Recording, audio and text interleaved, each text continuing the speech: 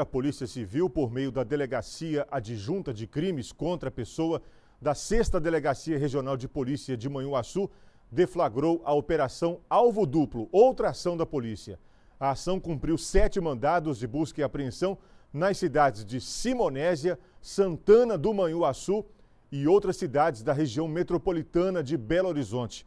O foco foi conseguir provas sobre os assassinatos ocorridos na cidade de Simonésia. Houve apreensões e prisão. Foram cumpridos sete mandados de busca e apreensão é, em Belo Horizonte, região metropolitana, e na cidade de Simonésia Santana do Manhuaçu.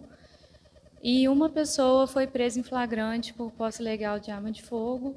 E nos demais né, é, cumprimentos foram apreendidos outros elementos que vão subsidiar aí nas investigações todos esses mandados para apuração de crimes de homicídios. Como fala apuração, estamos a dizer na coleta de materiais, de vestígios, de provas para conseguirmos descobrir a autoria desses homicídios. E na ação de hoje, inclusive, é, alguns dos alvos já até haviam mudado de, de local, né? porque está vendo que a ação constante da polícia lá nesses locais tem impedido que eles continuem praticando essas ações.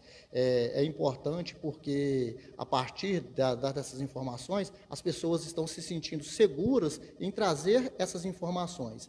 É, então, Hoje, com essa operação, nós conseguimos, como disse a doutora, angariar provas, né, é, alguns elementos aí de provas que vai robustecer esse inquérito policial e, ao chegar ao final, com o inquérito concluído e com os homicídios apurados. Já estamos é, em andamento, assim, já em fase final de alguns inquéritos, é, e é importante, né, de novo, que a população continue nos ajudando, trazendo essas informações. Ela pode ser tanto aqui pelos policiais civis, quanto pela polícia militar, ou então pelo Disque Denúncia 181, que as informações chegam para a gente em tempo real.